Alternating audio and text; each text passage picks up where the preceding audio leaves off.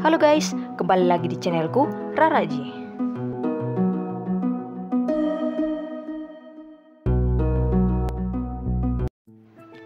Halo guys, di video kali ini aku akan membahas cara membeli tanaman baru di Ginger Island.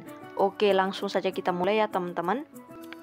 Setelah diupdate menjadi versi 1,5 untuk Android ini, terdapat banyak hal baru. Salah satunya yaitu tanaman baru. Oh ya, tanaman ini adalah tanaman spesial karena hanya bisa tumbuh di pulau baru ini atau biasa kita sebut dengan Ginger Island. Lalu bagaimana cara mendapatkan tanaman baru di Ginger Island ini? Untuk membeli tanaman di Ginger Island, pemain harus membuka akses pedagang pulau. Pedagang pulau adalah pedagang Bluebird yang terletak di sisi utara Ginger Island.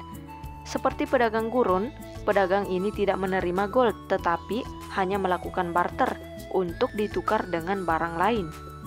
Lalu untuk mengakses pedagang pulau ini, kamu harus menyumbangkan 10 kenari setelah membuka akses rumah pertanian pulau. Oke, setelah membuka akses pedagang pulau, kamu sudah bisa melakukan barter untuk mendapatkan tanaman di pulau Ginger Island ini. Oh ya, Adapun tanaman yang bisa kamu barter di Pulau Jahe ini di antaranya yaitu bibit taro, bibit nanas, pohon pisang, pohon mangga, dan bibit mahagoni beserta item-item khusus di Ginger Island. Oke guys, mungkin itu saja yang bisa aku bagikan di videoku kali ini.